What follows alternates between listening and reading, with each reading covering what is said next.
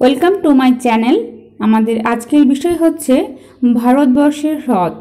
আজ আমরা ভারতবর্ষের লেক সম্পর্কে বিস্তারিতভাবে জানব। যে কোনো পরীক্ষার জন্য খুবই গুরুত্বপূর্ণ একটি বিষয়, তাই সবাই মন দিয়ে অবশ্যই দেখো।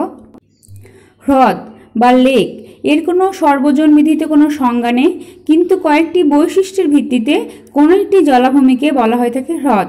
সেগুলি হচ্ছে, এটি হবে একটি আবদ্ধ জলাশয়। অর্থাৎ চারিদিকে থাকবে স্থলভাগ। এর আয়তন হবে দশ হেক্টরের বেশি এবং গভীরতা হবে তিন মিটারের বেশি। এই ধরনের জলাভূমিকে বলা হয়ে থাকে হ্রদ বা লেক। এই হ্রদ বা লেক দুটিভাবে সৃষ্টি হয়ে থাকে। এক প্রথমটি হচ্ছে কি? প্রাকৃতিকভাবে অর্থাৎ ন্যাচারালভাবে সৃষ্টি। আর দ্বিতীয়টি হচ্ছে মনুষ্য সৃষ্ট হ্রদ। প্রাকৃতিকভাবে সৃষ্ট হ্রদগুলি হচ্ছে, একটি হচ্ছে টেকটনিক লেক। টেকটনিক লেক মানে কি হচ্ছে পাতের যে সরণ, তার ফলে সৃষ্ট হ্রদ। দু নম্বর হচ্ছে গ্লেশিয়ার হ্রদ। অর্থাৎ বলতে পারি হিমবাহ দ্বারা সৃষ্ট হ্রদ, যখন হিমবাহ গলে গিয়ে বরফ জলে পরিণত হয় এবং এই ধরনের যে আবদ্ধ জলাশয় সৃষ্টি হয়, তখন তাকে বলা হয় হিমবাহ সৃষ্ট হ্রদ। তিন নম্বর হচ্ছে অশ্বক্রাকৃতি হ্রদ। নদীর সমভূমি প্রবাহে নদীর এই অশ্বক্রাকৃতির হ্রদ সৃষ্টি হয়। চার নম্বর, কেটার লেক বা কেটার হ্রদ। আগ্নেয়গিরির জ্বালামুখে যখন জল জমে হ্রদ সৃষ্টি হয়, তখন তাকে বলা হয় কেটার লেক বা কেটার হ্রদ। মনুষ্য সৃষ্ট হ্রদ বা মানুষের দ্বারা সৃষ্টি করা হ্রদ বলতে বোঝায়।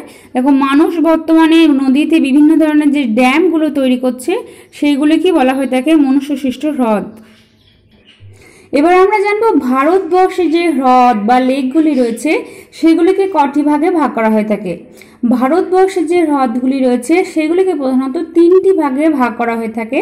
প্রথমটি হচ্ছে লবণাক্ত জলের হ্রদ, দ্বিতীয়টি হচ্ছে মিষ্টি জলের হ্রদ, তৃতীয়টি হচ্ছে মনুষ্য সৃষ্ট হ্রদ। এই লবণাক্ত জলের হ্রদ কোনগুলো? সাধারণত সমুদ্রের তীরবর্তী, অর্থাৎ উপকূলবর্তী অঞ্চলে যে হ্রদগুলি রয়েছে, সেগুলি হচ্ছে লবণাক্ত জলের হ্রদ। মিষ্টি জলের হ্রদ বলতে বোঝায় যে হ্রদের জলের উৎস হচ্ছে নদী, হিমবাহ বা বৃষ্টির জল। সেই হ্রদগুলি হচ্ছে মিষ্টি জলের হ্রদ। মনুষ্য সৃষ্ট হ্রদ বলতে বোঝায় বর্তমানে যে নদীতে বিভিন্ন ধরনের ড্যাম তৈরি করা হচ্ছে বা জলাধার তৈরি করা হচ্ছে, সেগুলিকে বলা হচ্ছে মনুষ্য সৃষ্ট হ্রদ। এরপর আমরা ভারতবর্ষের যে উল্লেখযোগ্য হ্রদ বা লেক রয়েছে, সেগুলির অবস্থান আমরা মানচিত্রে দেখব। দেখো, প্যাংগং হ্রদ। প্যাংগং হ্রদ লাদাখে অবস্থিত। প্যাংগং হ্রদ হচ্ছে লবণাক্ত জলের হ্রদ। ভারতে মোট যতগুলি লবণাক্ত জলের হ্রদ রয়েছে, তার মধ্যে প্যাংগং হ্রদের জলের লবণাক্তের পরিমাণ সর্বাধিক।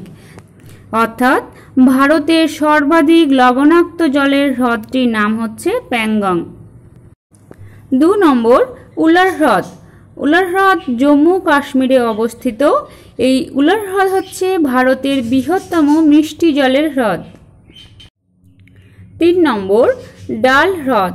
এটি জম্মু কাশ্মীরে অবস্থিত। চার নম্বর, সম্বর হ্রদ। সম্বর হ্রদ রাজস্থানে অবস্থিত। ভারতবর্ষে মোট যতগুলি লবণাক্ত জলের হ্রদ রয়েছে, তার মধ্যে সম্বর হ্রদ হচ্ছে বৃহত্তম। অর্থাৎ ভারতের বৃহত্তম লবণাক্ত জলের হ্রদ হচ্ছে সম্বর হ্রদ পাঁচ নম্বর, লোকটক হ্রদ। উত্তর পূর্ব ভারতের বৃহত্তম হ্রদ হচ্ছে এই লোকটক হ্রদ। এটি মণিপুর রাজ্যে অবস্থিত এবং এটি মিষ্টি জলের হ্রদ। ছ নম্বর, চিল্কা হ্রদ। চিল্কা হ্রদ হচ্ছে ভারতের বৃহত্তম উপহ্রদ। চিল্কা হ্রদকে উপহ্রদ বলা হয়, তার কারণ হচ্ছে চিল্কা হ্রদের, দেখো, তিন দিকে রয়েছে স্থলভাগ, একদিক রয়েছে জলভাগ। যেহেতু তিন দিক স্থলভাগ দ্বারা আবদ্ধ এবং একদিক সমুদ্রে উন্মুক্ত, সেই জন্য একে উপহ্রদ বলা হয়ে থাকে। তোমাদের পরীক্ষায় এইরকম প্রশ্ন আসতে পারে যে মহানদী ও গোদাবরী নদীর মাঝে অবস্থিত হ্রদের নাম লেখো। তখন উত্তরটি হবে চিল্কা হ্রদ। সাত নম্বর কলেরু হ্রদ। দেখো, গোদাবরী ও কৃষ্ণা নদীর মাঝে অবস্থিত হচ্ছে এই কলিরু হ্রদ।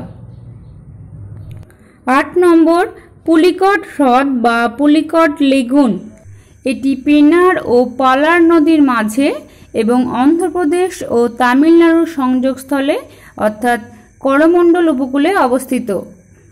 ন নম্বর, ভেম্বানাথ কয়াল বা উপহ্রদ। ভেম্বানাথ কয়াল হচ্ছে ভারতবর্ষের দীর্ঘতম হ্রদ এবং এই ভেম্বানাথ কয়াল মালাবার উপকূলে অবস্থিত।